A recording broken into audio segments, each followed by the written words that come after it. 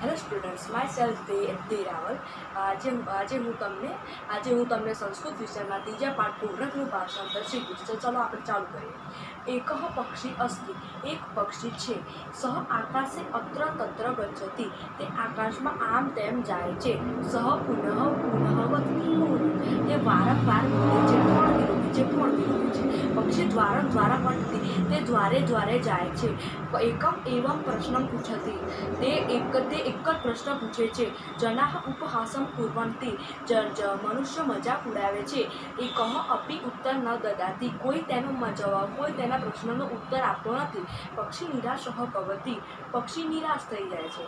સહ વનમ ગચ્છતી વૃક્ષે ઉપવિશતી ચ તે જંગલમાં જાય છે અને અને જંગલમાં જાય છે અને ઝાડ ઉપર બેસી જાય છે. વૃક્ષસ્ય અતઃ વૈગૃષી વાઘ ભટ્ટ અસ્તિ. વૃક્ષની નીચે વૈગૃષી વાઘ ભટ બેઠા છે. પક્ષી પુનઃ વદતી કોણ કોણ પક્ષી ફરીથી બોલે છે, કોણ નિરોગી છે, કોણ નિરોગી છે? વાઘ વાઘ ભટ્ટ શૃણોતી વાઘ ભટ્ટ સાંભળે છે. સહવદતી હિતભૂત, મિતભૂત, ભૂતભૂત ઇતિ, હિતકારી ભોજન કરનાર, અલ્પ માત્રામાં ભોજન કરનાર અને ઋતુ અનુસાર ભોજન કરનાર.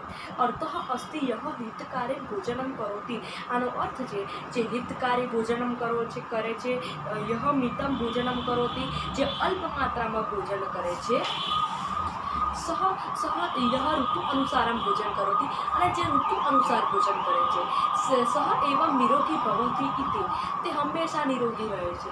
સંતુષ્ટ પક્ષી ઋષિ સમય સમીપમ આગચ્છતિ સંતોષ પામેલું પક્ષી એ ઋષિની પાસે આવે છે.